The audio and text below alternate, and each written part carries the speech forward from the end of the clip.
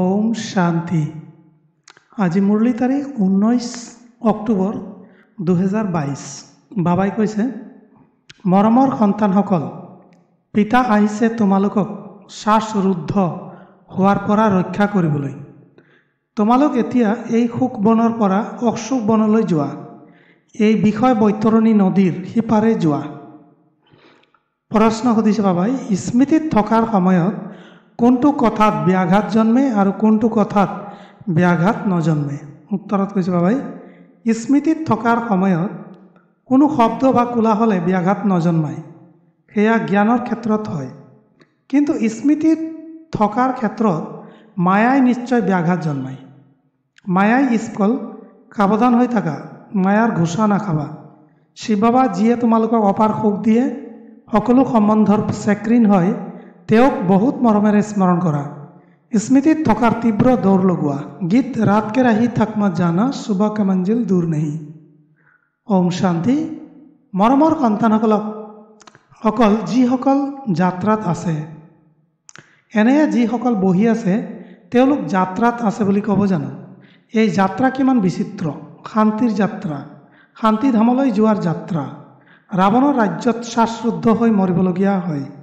সত্যৱান সাবিত্ৰীৰ এটি কাহিনী আছে নহয়, যে সাবিত্ৰীয়ে কালৰ মৃত্যুৰ মুখৰ পৰাও সত্যৱানৰ আত্মাক উভতাই লৈ আহিল। বাস্তৱত এনেকুৱা কথা কোনো কথা নাই। বাকী আধাকল্প কালে খায়। অন্তিমত শ্বাসৰুদ্ধ হয়, নহয়। ৰাৱণ যাক বছৰে বছৰে জ্বলাই থাকে, তেওঁ আমাৰ শত্ৰু হয়, সেইটো নাজানে। বাবাই কয়, মই আহিছোঁ তোমালোকক সুখবনৰ পৰা অসুপকাৰে শ্বাসৰুদ্ধ হ'বলগীয়া হয়। মা, পিতা, পতি সন্তানসকলৰ বাবে শ্বাসৰুদ্ধ হৈ থাকে। পতিয়ে বিকাৰত আবদ্ধ কৰায়। পিতা আহি এই সকলো শ্বাসৰুদ্ধ হোৱাৰ পৰা মুক্ত কৰি নতুন সৃষ্টিলৈ লৈ যায়। এতিয়া আত্মাৰ পাখিও ভাঙি গৈছে, আত্মা উৰিব নোৱাৰে। তেতিয়া স্মৃতিৰ যাত্ৰা কৰিব নোৱাৰে। যথাযথ এটি, এয়া হৈছে বুদ্ধিযুগৰ যাত্ৰা। লিখা আছে নহয়, মনমনা ভৱ। নিজক আত্মা বুলি বুজি পৰমাত্মাক স্মৰণ কৰা। ইয়াৰ অৰ্থ কোনোবাই যাত্ৰা বুলি বুজে বুজে জানো। এনেকৈ কয় ৰামে বান্দৰৰ সেনা ল'লে আৰু বান্দৰে সেতু নিৰ্মাণ কৰিলে। বান্দৰে সেতু কেনেকৈ নিৰ্মাণ কৰিব? এয়া তোমালোকৰ স্মৃতিৰ যাত্ৰাৰ সেতু নিৰ্মাণ হৈ আছে। যি সেতুৰে তোমালোকে বিষয় বৈতৰণী নদী পাৰ হৈ যোৱা পিতাই নদীত সাঁতুৰিবলৈ শিকায়। নাৱৰীয়া হয় নহয় জানো? বিষয় বৈতৰণী নদীৰ পাৰ কৰাই শিৱালয়লৈ লৈ যায়। কয় অম হয় শাস্ত্ৰ জ্ঞান বুলি কোৱা নহ'ব। সেয়া হ'ল ভক্তিৰ সামগ্ৰী।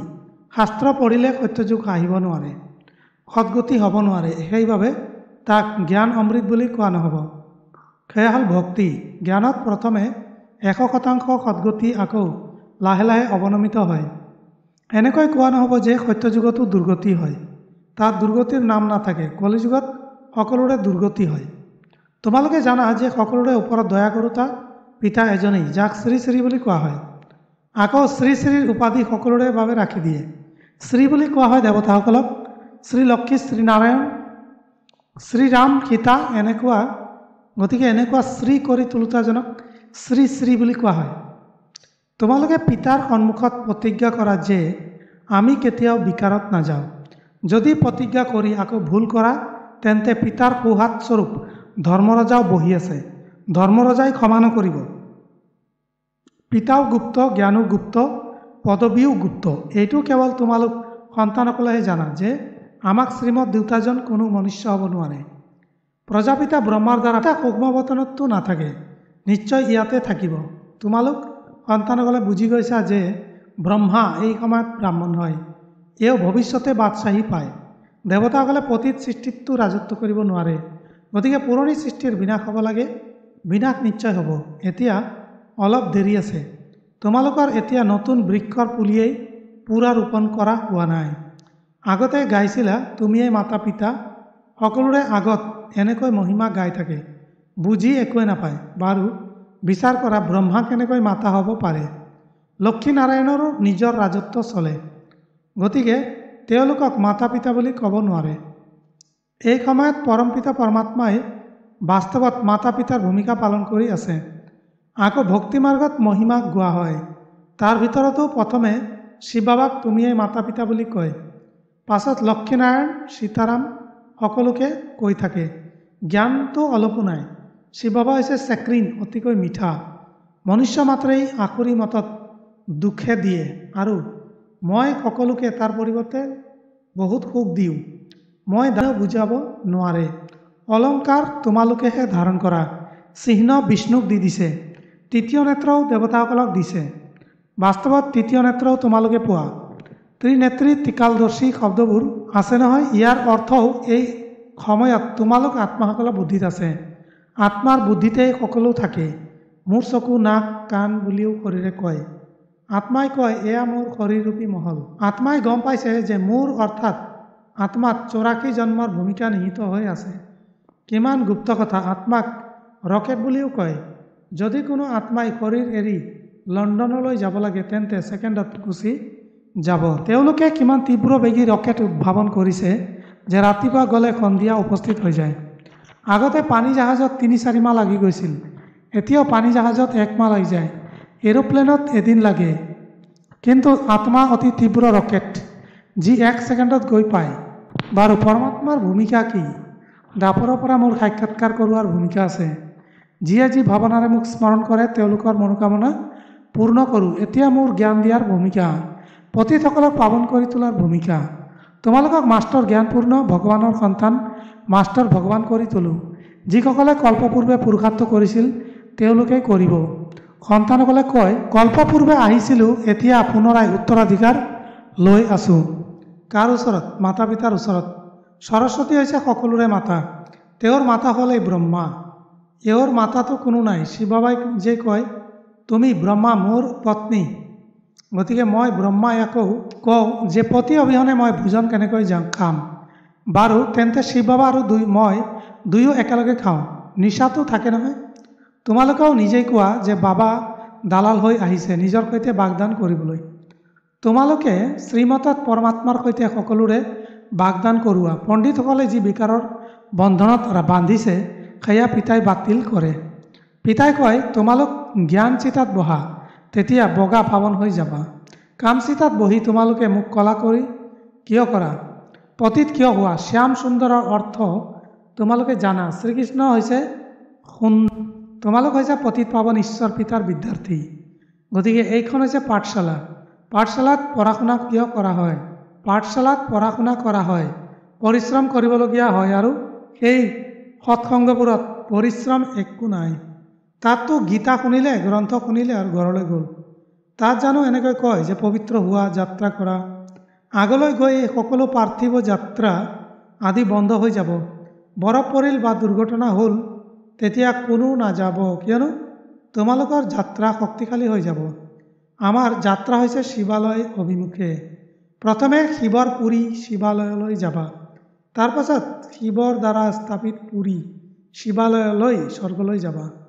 শিৱপুৰী আৰু বিষ্ণুপুৰী দুয়োখনকে শিৱালয় বুলি কোৱা হ'ব। কিয়নো মুক্তি, জীৱন মুক্তি দুয়োটা শিৱ বাবাইহে দিয়ে। গতিকে সত্যযোগী দৈৱী কুল শিৱ বাবাইহে স্থাপনা কৰে। বাৰু স্মৃতিত থকাৰ ক্ষেত্ৰত কোলাহলে ব্যাঘাত জন্মাব নোৱাৰে। জ্ঞান কোনোতে কোলাহলে ব্যাঘাত জন্মাব। মনুষ্যটো কয় যে শান্ত হোৱা, নহ'লে স্মৃতিত ব্যাঘাত জন্মিব। কিন্তু যুগৰ ক্ষেত্ৰত কোলাহলে ব্যাঘাত নজন্মায়, ব্যাঘাত জন্মায় মায়াই। সন্তানসকলৰ সৈতে মায়াৰ যুদ্ধ হয়। সন্তানসকল যুদ্ধক্ষেত্ৰত পৰাজিত হ'ব নালাগে। মায়াইতো ঘোচা লগাই দি থাকে। মায়াই নাকত ঘোচা মাৰিলে আৰু বাগৰি পৰিল। আকৌ থিয় হ'ল, পুনৰ নাকত ঘোচা মাৰিলে আৰু বাগৰি পৰিল সেয়েহে পিতাই কয়, এই মায়াই কাম ক্ৰোধৰ ঘোচা মাৰে। ইয়াৰ পৰা তোমালোক বহুত সাৱধান হৈ থাকিব লাগে। ঘোচা খাব নালাগে। বাৰু, অতি মৰমৰ কল্পৰ পাছত পুনৰাই লগ পোৱা সন্তানসকলৰ প্ৰতি মাতা পিতা বাপদাদাৰ স্নেহপূৰ্ণ স্মৰণ আৰু সুপ্ৰভাত আত্মিক পিতাৰ আত্মিক সন্তানসকলক নমস্কাৰ। আমি আত্মিক সন্তানসকলে আত্মিক পিতাক নমস্কাৰ নমস্কাৰ নমস্কাৰ। ধাৰণাৰ বাবে মুখ্য সাৰ এক নম্বৰ। জ্ঞানৰ সকলো অলংকাৰ ধাৰণ কৰি স্বদৰ্শন চক্ৰধাৰী ত্ৰিনেত্ৰী ত্ৰিকালদৰ্শী অৰ্থাৎ মাষ্টৰ ভগৱান হ'ব লাগে। দুই নম্বৰ পিতাৰ সুহাত স্বৰূপ ধৰ্মৰজাক স্মৃতিত ৰাখি কোনো বিকৰ্ম কৰিব নালাগে। পাৱন হোৱাৰ প্ৰতিজ্ঞা কৰি ঢিলা স্ক্ৰু টান কৰোঁতা তীব্র পুরুষার্থী ভব। দৃঢ় প্রতিজ্ঞার দ্বারা অমনোযোগিতাৰ ঢিলা স্ক্ৰু টান কৰোঁতা তীব্ৰ পুৰুষাৰ্থী ভৱ প্ৰতিজ্ঞাত ঢিলা হোৱাৰ মূল কাৰণ হ'ল অমনোযোগিতা। যেনেকৈ যিমানেই ডাঙৰ যন্ত্ৰ পাতি নহওক, কিন্তু এটা সৰু স্ক্ৰু যদি ঢিলা হৈ যায়, তেতিয়া গোটেই যন্ত্ৰ বেকাৰ কৰি দিয়ে। তেনেকৈ প্ৰতিজ্ঞা পূৰ্ণ কৰিবলৈ পৰিকল্পনা বহুত ভালো কৰা। পুৰুষাৰ্থ কৰা, কিন্তু পুৰুষাৰ্থ বা পৰিকল্পনা দুৰ্বল কৰাৰ স্ক্ৰু এটাই, অমনোযোগিতা। ই নতুন নতুন ৰূপত আহে। এই ঢিলা স্ক্ৰু টান কৰা। মই পিতাৰ সমান হ'বই লাগিব। এইটো দৃঢ় সংকল্পৰে তীব্ৰ পুৰুষাৰ্থই হৈ যাবা। শ্লোগান, বেহদৰ বৈৰাগ্য বৃত্তিয়েই সময়ৰ সমীপতাৰ আধাৰ। বেহদৰ বৈৰাগ্য বৃত্তিয়েই সময়ৰ সমীপতাৰ আধাৰ। ওম শান্তি। মাতেশ্বৰীজীৰ অমূল্য মহাবাক্য। এতিয়াতো গোটেই জগতে জানে যে পৰমাত্মা এজন। সেই পৰমাত্মাকে কোনোবাই শক্তি বুলি মানে কোনোবাই প্ৰকৃতি বুলি কয়। অৰ্থাৎ কিবা নহয় কিবা ৰূপত নিশ্চয় মানে। গতিকে কিন্তু সেই এটা বস্তুৰ বিষয়ে এইখন জগতত যিমান মনুষ্য আছে সিমান মত আছে। কিন্তু বস্তু এটাই তাৰ ভিতৰত মুখ্য চাৰিটা মত নাই। কোনোবাই কয় ঈশ্বৰ সকলোতে আছে কোনোবাই কয় ব্ৰহ্মই সকলোতে আছে কয় যে সৰ্বত্ৰ ব্ৰহ্মই ব্ৰহ্ম কোনোবাই কয় ঈশ্বৰ সত্য মায়া মিথ্যা কোনোবাই কয় ঈশ্বৰ নায়েই প্ৰকৃতিয়েই প্ৰকৃতি তেওঁলোকে আকৌ ঈশ্বৰক নামানে। এতিয়া এয়া হ'ল অনেক মত। তেওঁলোকেতো ভাবে যে জগতখন প্ৰকৃতি, বাকী একো নাই। এতিয়া চোৱা, জগতক মানে কিন্তু যিগৰাকী পৰমাত্মাই জগত ৰচিলে, সেই পৰমাত্মা আহি এই সকলো মতৰ নিৰ্ণয় কৰে। এই গোটেই জগতৰ নিৰ্ণয় পৰমাত্মাই আহি কৰে। অথবা যিগৰাকী সৰ্বোত্তম সৰ্বশক্তিমান হ'ব তেওঁৱেই নিজৰ ৰচনাৰ নিৰ্ণয় বিতংকৈ বুজাব। তেওঁৱেই আমাক ৰচয়িতাৰ পৰিচয় দিয়ে আৰু নিজৰ ৰচনাৰো পৰিচয় দিয়ে। বহুত মনুষ্যই এনেকৈ প্ৰশ্ন সোধে কি প্ৰমাণ আছে যে আমি আত্মা?